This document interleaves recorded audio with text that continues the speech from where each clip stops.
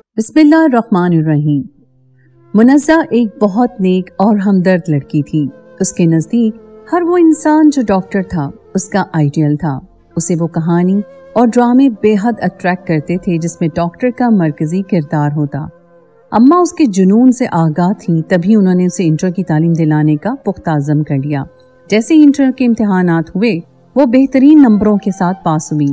अम्मा ने भी अपना वादा पूरा कर लिया था और उसका मेडिकल में दाखिला करवाने की अब तैयारियाँ शुरू कर दी थी। इन कामों में भी हमेशा की तरह अमजद आगे आगे था। अमजद मुनजा का चचा साथ था। वो प्रोस्पेक्टिस लिए हुए था एडमिशन फॉर्म फिल किया और कॉलेज में उसके साथ खुद हर जगह साथ साथ जाता रहा। उस वक्त भी वो उसके फॉर्म पर लगने वाली फ़ोटो स्टूडियो से लेकर आया तो अम्मा ने मनजा को उसके लिए चाय बनाने के लिए दौड़ा दिया। अम्मा, तस्वीरें तो देख लें, आपको कैसी लगी हैं? अम्मा कहने लगी, मैं देख लेती हूँ। अमजद बेचारा थक हार के आया है, तुम्हारे पीछे इसको चाय बना कर दो पहले। अम्मा, तस्वीरें देखने लगी तो वो चाय बनाने चली गई। अभी खोलते पानी में पत्ती डाल ही रही थी कि उसकी नज़र अमजद को देखकर हैरानी से बोली, आप यहाँ क्यों आ गए हैं? बस मैं चाय ला ही रही थी। मुझे माफ़ करना, तुम्हें मेरी वजह से डांट पड़ी। ये लो, देख लो तस्वीरें। उसने उसकी तरफ़ तस्वीरें बढ़ाते हुए कहा। वो बेसाख्ता हंस पड़ी। अरे, ये भी कोई डांट थी? अम्मा तो मुझे इससे भी ज़्यादा डांट लेती हैं। मैं बुरा नहीं मनाती। कौन सा गुस्से में कहती हैं?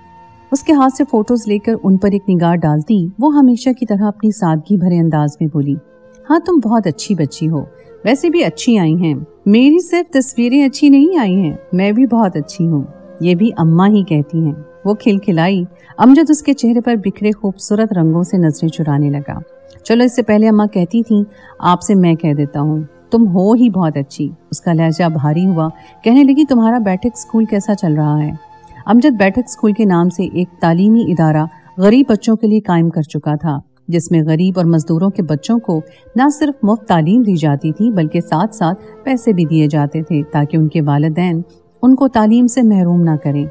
कि उनके बच्चे दिहाड़ी लगाकर कुछ पैसे कमाएँ, वो बहुत अच्छा जा रहा है। मेरे दोस्त भी अब मेरे इस प्रोजेक्ट में शामिल हो गए हैं। पहले चंद बच्चे थे, मगर अब तो बच्चों की तादाद भी बढ़ रही है। वो खुश होकर बता रहा था। अच्छी बात है, मगर इसके साथ तुम अपनी तालीम पर भी तवज्जो दो। वो मोतबराना मशवरे दे रही थी। अमजद की आँखों में शोखी उतर आई। बहरहाल, फ़िलहाल तो मैं तुम पर तवज्जो दे रहा हूँ। इन गुलाबी कपड़ों में तुम बहुत प्यारी लग रही हो। तुम प्लीज़ जल्दी से बड़ी हो जाओ, ताकि मैं अपनी फीलिंग्स तुमसे शेयर कर सकूँ। उसे देखते ही वो सोचने लगा। उसकी निगाहों को महसूस किया तो बेचैन सी हो गई। अमजद उसे कब से बताना चाहता था कि वो उसे दिल से पसंद करता है, उसे अपनी जीवन साथी बनाना चाहता है। लेकिन फिर उसकी मासूमियत और नादानी देखकर समझ जाता कि अभी ये बात करने का वक्त नहीं है। शायद उसे थोड़ा और बड़े होना देना चाहिए। कॉलेज में उसका एडमिशन हुआ तो पढ़ाई की ज़िम्मेदारी और बढ़ गई। वही उसकी एक और लड़की से दोस्ती हो गई। नुसरत का ताल्लुक बहुत अच्छे घराने से था। उनकी दोस्ती इतनी गहरी हो गई कि वो उसे अपनी बर्थडे पार्टी में इनवाइट कर रही थी। बुलावे पर उसे मना भी नहीं कर सकी कि उसको बुरा ना लग जाए, लेकिन नुसरत की बर्थडे में जाना भी मनजा के लिए इस कदर आसान न था। अच्छा खासा खर्चा निकल आया था। बर्थडे में पहनने वाले सूट का खर्चा अलग और फिर नुसरत के लिए गिफ्ट का बंदोबस्त करने में अलग खर्चा। उसके पास ना कोई ढंग का कपड़ा था और ना ही जूते। नुसरत एक अमीर घराने से थी, इसलिए उसके सामने उसे कुछ तो भरम रखना ही था। अभी वो इन सोचों में गुम आगे किताबें फैलाए बैठी ही थी कि अमजद ने दरवाजे पर दस्तक दी। क्या मैं अंदर आ सकता हूँ? हाँ आ जाओ, उसने धीमे से लहजे में कहा। शायद वो अभी भी इसी परेशानी में खोई हुई थी। अमजद के पूछने पर बताने लगी कि उसकी दोस्त बहुत अमीर है। वो उसकी इस नादानी पर हंस दिया। अरे पगली, ये भी कोई बात है? उसे ज़रूर तोहफा दो, मगर उसकी हैसियत के मुताबिक नहीं, बल्कि अपनी इस्तात के मुताबिक, जो तुम्हें अच्छा लगे। दे दो। लाजमी तो नहीं है कि गिफ्ट महँगा हो। वैसे भी लोग गिफ्ट की नहीं, उनके जज्बों की कदर करते हैं। उसकी बात सुनकर उसे कुछ सहारा हुआ था। वो खुशी से उठी और अलमारी से अपने कुछ सूट निकालने लगी। आतशी गुलाबी रंग का उसने सूट निकाल कर सामने रख दिया, जिसके दुपट्टे और दामन पर खूबसूरत सी लेस लगी हुई थी। ये सूट अम्मा ने पिछली ईद पर उसे खुद तैयार करके दिया था। ये बहुत अच्छा है। गुलाबी रंग वैसे भी तुम पर बहुत जचता है। सब में नुमाया लोगों की। अमजद के लहजे में एक बार फिर से भारीपन उतर आया था। जो उसके जज्बों की सच्चाई बयान कर रहा था।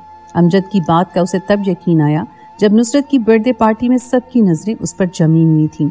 तकरीब में नुसरत का खालाजाद बेटा, डॉक्टर असफन यार, उसकी तरफ़ देखे जा रहा था। वो हाल ही में डॉक्टर की तालीम मुकम्मल करके वतन वापस लौटा था। मुनजा की मनमोनी सूरत देखकर उसका दिल पिघल गया था। वो उसे गहरी नज़रों से देखे जा रहा था। मुनजा को भी यकीन आ रहा था कि अमजद ने कुछ गलत भी नहीं कहा था। डॉक्टर असफन यार खुद भी अच्छी पर्सनालिटी का था, मगर उसकी निगाहों का वही मरकज ठहरी थी। वहाँ तकरीब में भी बहुत सी हासदाना और रश्क आमेज नज़रें उसका घेराव करने लगी थीं। नुसरत बता रही थी कि आपको डॉक्टर्स बहुत अच्छे लगते हैं? डॉक्टर असफन यार उसके करीब आकर बोला, गोया वो अपना तारुफ उससे करवाने में खासी दिलचस्पी रखता था, जबकि वो नर्वस हो रही थी। जी, ये तो है। डॉक्टर असफन यार ने झिझकते हुए लहजे में कहा, मुझे तो आज से कबल इतनी खूबसूरत लड़की नहीं मिली। उसने हल्की मुस्कुराहट के साथ शरारत से कहा, उसका लहजा बड़ा मानी खेज था। न जाने क्यों वो इतना खुश हो रहा था। फिर इस कदर संजीदा होकर बोला, अगर आप बुरा ना माने तो आपसे एक सवाल पूछ सकता हूँ। वो नर्वस होकर रह गई और उसे देखती रही, अगर मैं आपके यहाँ अपना प्रपोजल भिजवा दूँ तो आपको बुरा तो नहीं लगेगा? असल में मैं तो ऐसा ही हूँ। अचानक मगर पायदार फैसले करता हूँ। आपको पहली निगाह में देखकर ही मैंने पसंद कर लिया है। आप मेरे दिल में उतर गई हैं। मुझे मेरे दिल ने आगाह कर दिया है कि आप ही वो लड़की हैं जिसे मैं शरीक हयात बनाकर खुश रख सकता हूँ। मुझे आपकी खूबसूरती से भी ज़्यादा मासूमियत ने अट्रैक्ट किया है। वो कितने इतमान से हाल दिन कह रहा था और वो इतनी नर्वस हुई थी कि घबराहट में वहाँ से उठ गई। वो उसे एक मज़ाक समझ रही थी। अमीर जादे ऐसे ही तो होते हैं। गरीब खूबसूरत लड़कियों से इस तरह के मज़ाक कर जाते हैं। मगर ये क्या? अगले चंद दिनों में तो डॉक्टर असफन यार ने उसके घर में रिश्ता भिजवा भी दिया। वो दंग रह गई थी। क्या ख्वाब इतनी जल्दी भी पूरे हो जाते हैं? उसने हैरत से सोचा और फिर इतमान से मुस्कुरा दी। डॉक्टर साहब का रिश्ता उसकी अम्मा के लिए किसी नेमत से कम नहीं था। इतने बड़े घर का खूबसूरत पढ़ा लिखा लड़का। तो फिर भला वो क्यों इनकार करती? यूँ एक महीने के अंदर अंदर ही बात पक्की हो गई और मंगनी की तारीख तय कर दी गई। ये मंगनी से कुछ दिन पहले की बात है। जब बुझे हुए चेहरे और सुख आँखों के साथ बहुत दिनों के बाद अमजद उनके घर आया था। उसके जज्बात से बेखबर वो उसकी हालत देखकर हैरान रह गई। अमजद, क्या तुम बीमार हो?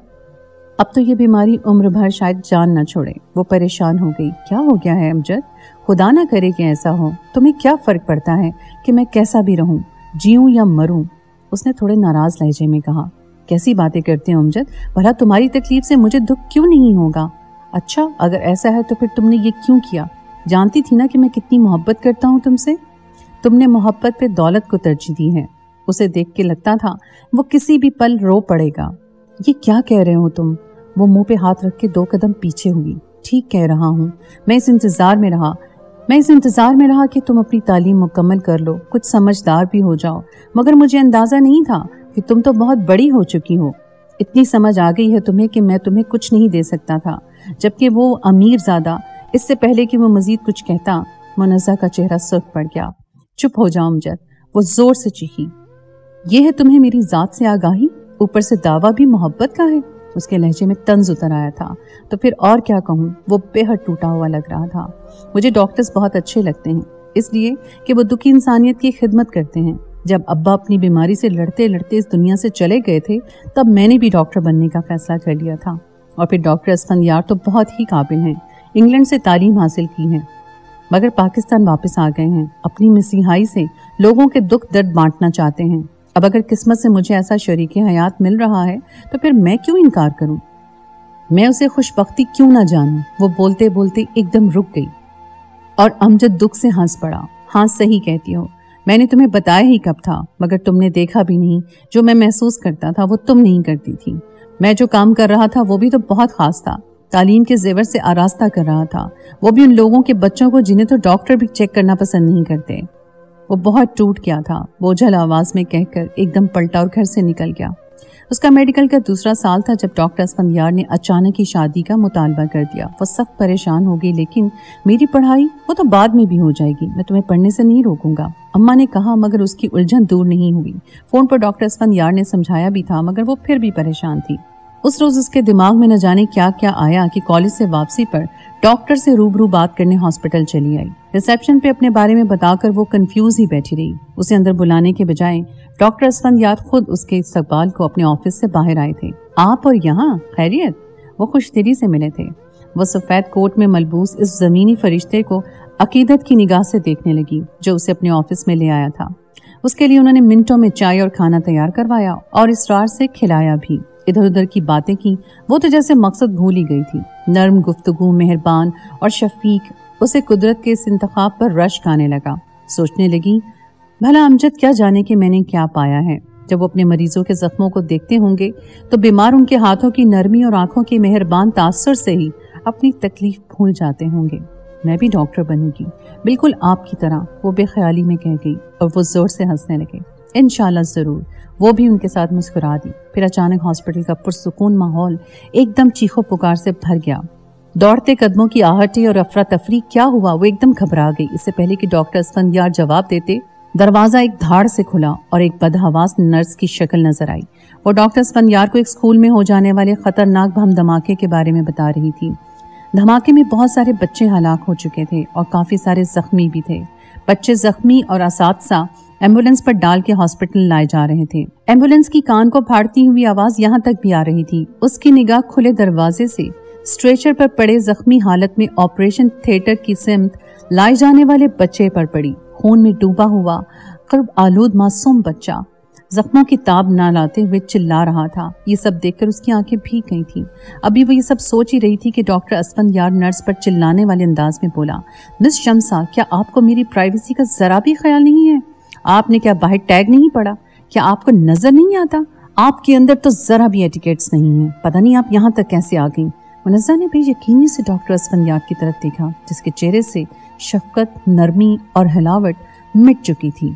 उसकी जगह करख्तगी और हकारत ने ले ली थी। सॉरी सर वो बम ब्लास्ट हुआ है और जख्मियों की तादाद बहुत ज़्यादा है। तो नर्स कुछ कहते कहते रुक गई थी। यहाँ तो हर रोज जाने कितने बम ब्लास्ट होते हैं, कितने लोग मर जाते हैं। तो क्या अब हम अपनी सारी ज़िंदगी कुर्बान कर दें? क्या हमारी कोई ज़िंदगी नहीं है और हमें ज़िंदगी पे कोई हक नहीं है?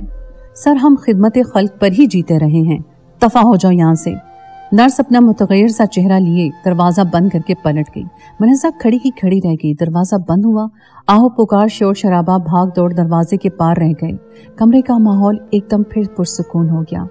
असफन यार के भी आसाब मामूल पर आ गए। उसने फिर से कुर्सी संभाल कर मुस्कुरा कर उसे देखा। आप खड़ी क्यों हो गई हो, मनजा? बैठिए ना। उनका लहजा वही हलावत से भरपूर था, डॉक्टर असफंदियार कहने लगे। इसीलिए मैंने फैसला किया है कि मैं शादी के फ़ौरन बाद इंग्लैंड चला जाऊँगा। बहुत मुश्किल ज़िंदगी है यहाँ की, जिसे कम अज कम मैं बर्दाश्त नहीं कर सकता। बंदा क्या अपनी मर्ज़ी से ज़िंदगी भी ना गुजारे? मुनजा ने उसे बहुत सर्द नज़रों से देखा। वो अब संभल चुकी थी। मुनजा ने उसे हकारत और तन से देखा और उठकर चल दी। अरे, आप कहाँ जा रही हैं? ये सब कुछ तो वैसे का वैसा ही पड़ा हुआ है। मैं कुछ देर में आपको खुद ड्रॉप करने चलूँगा। आप बैठिए। उनका फिर से वही रूप था जिससे वो धोखा खा गई थी। माफ़ कीजिएगा असफंदियार साहब, मैं रुक नहीं सकती। उसने जवाब सर्द मेहरी से दिया। तो डॉक्टर असफंदियार ने फिर से समझे बगैर कंधे उचका दिए। ठीक है तो चलिए मैं आपको ड्रॉप कर दूँ। नहीं, इस तकलीफ़ की ज़रूरत नहीं है, उसने रूठे अंदाज से कहा और कदम बढ़ा दिए। अरे, तकलीफ़ कैसी? ये तो एन सादत होगी। वो हंसकर कहते कहते उसके पीछे आते हुए बोले, मनजा ने रुककर उसे तंजिया नज़रों से देखा और फिर बोली, सादत आप पर यह लफ्ज सूट नहीं करता। आपको तो इस लफ्ज के मानी भी मालूम नहीं है।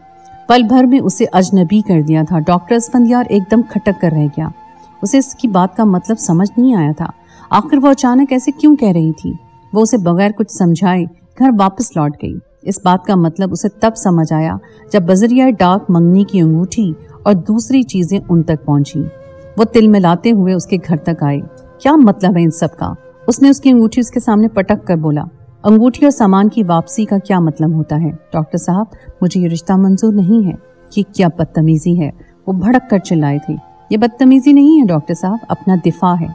मैं आपको मसीहा समझकर आपसे अकीदत लगा बैठी थी। मगर आप तो क्या निकले? तुम समझती क्या हो खुद को? डॉक्टर असफन यार कदरे चिल्लाते हुए बोले, तुम्हें क्या लगता है कि तुम कोई हूर परी हो? अरे तुम्हारे जैसी लाखों मेरे कदमों में गिरी पड़ती हैं। मगर उन्हें मुँह भी नहीं लगाता। तो ठीक है, उन्हीं में से आप किसी और को मुँह लगा ले। मेरा आपसे कोई ताल्लुक नहीं है। उसने सुकून से कहा और वो धमकियाँ देते हुए चले गए। आज इस बात को पाँच साल गुजर चुके हैं। मनजा डॉक्टर बन जाने के बाद गरीब और नादार बच्चों की खिदमत में मसरूफ है। उसकी शादी भी अमजद से हो गई थी। उसका बेटा तीन साल का है। अमजद अपने बेटे से बेहद प्यार करता है। मनजा अब अमजद की वाकई से उसके जज्बे की कदर करती है। डॉक्टर असफन यार से भी वो इसी वजह से मुतासर थी कि वो दुखी इंसानियत की खिदमत करते थे।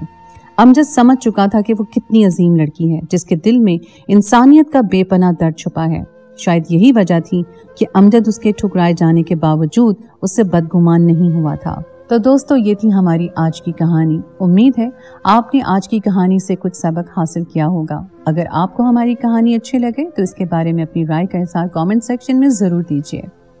और साथ ही लगे बेल आइकन को भी प्रेस कीजिए। और अगर आपने मेरी कहानी चैनल को सब्सक्राइब नहीं किया तो अभी इसे सब्सक्राइब भी कर लीजिए। अगली कहानी तक के लिए मुझे इजाज़त दें। अल्लाह हाफिज़।